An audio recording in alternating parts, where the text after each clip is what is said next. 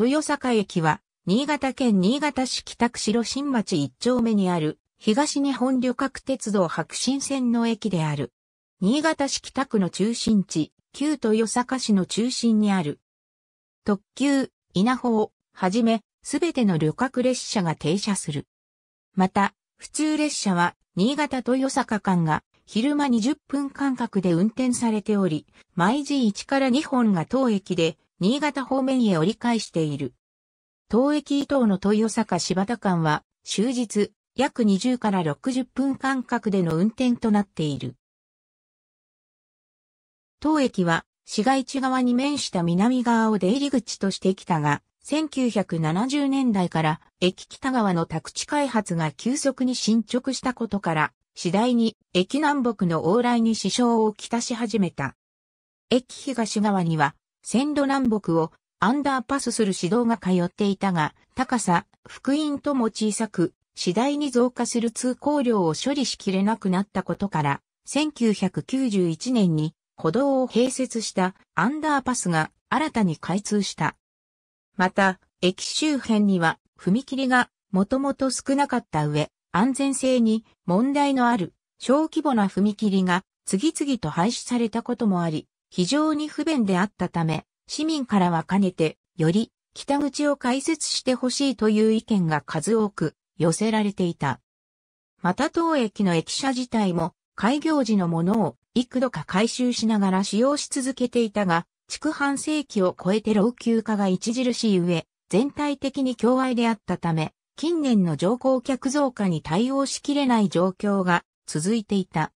このため、旧豊坂市と JR 東日本は駅舎を自由通路を内包する橋上駅舎として改築することを決定。2004年秋から改築工事に着手、2006年3月25日にオープンした。現役車はエレベーター、エスカレーター、多機能トイレなどを備えたバリアフリーを考慮した構造に設計されている。駅内の自由通路は自転車も通行できるほか、新潟市の第三セクターが運営するコンビニエンスストアも設けられている。駅舎完成後、南北双方の駅前広場が整備された。自由通路を併設した橋上駅舎を有する地上駅。単式ホーム一面一線、島式ホーム一面二線の計二面三線のホームがある。新潟駅管理の業務委託駅となっている。以前は直営駅だったが2018年7月より JR 新潟ビジネスが出札、改札業務を行う業務委託駅となった。改札口には自動改札機が3通路設置されており、全通路で Suica 等の IC カードが利用できる。有人改札横には、みどりの窓口と多機能券売機1台、指定席券売機1台が設けられている。改札口周辺には、コンビニエンスストア、自動販売機、待合室などがある。コンビニエンスストアでは冬季を除き無料のレンタサイクルの取り扱いが行われている。バリアフリー対策として、改札口正面には音声案内装置や触地図を備えた周辺地図が設けられている。南口、北口のエントランス部と両ホームにはエレベーターとエスカレーター、誘導チャイムが設置されている。南口、北口ともエントランス部は階段と上下エスカレーターが並行して設けられている。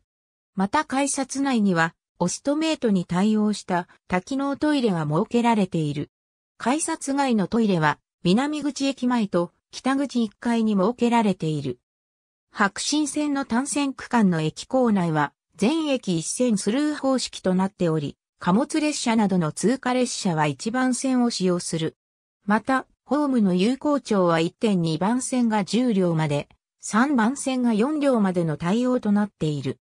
改札口、券売機及び自由通路 JR 東日本によると、2020年度の1日平均乗車人員は2572人である。2000年度以降の推移は以下の通りである。南口駅前もともとのエントランスである。南口側は北区豊坂地区の中心地。駅前は駅開業に合わせた都市計画により造成された白新町。その奥には旧北神原郡くず塚町時代からの旧市街地が広がり、公共施設などが多く立地する。タクシーはロータリー内に終日常駐している。北口駅前北口側は主に新興住宅地である。1970年代末期から開発が始まり、現在も開発が進められている。タクシーは昼間は常駐、早朝、深夜は概ね列車発着前後のみ待機している。2020年4月現在、下記の路線バスコミュニティバスが運行されており、駅の南北それぞれのロータリー内に停留所が設けられている。いずれも新潟交通グループが運行する路線バスとコミュニティバス、北区区バス、オラッテのバスが発着する。新潟交通グループと区バスで停留所名が異なるが、いずれも駅前広場のロータリー西側に設置されている。このほか、新潟医療福祉大学や慶和学園高等学校、南浜病院など周辺諸施設のスクールバスや送迎バスが北口周辺を発着する。注釈出典。ありがとうございます。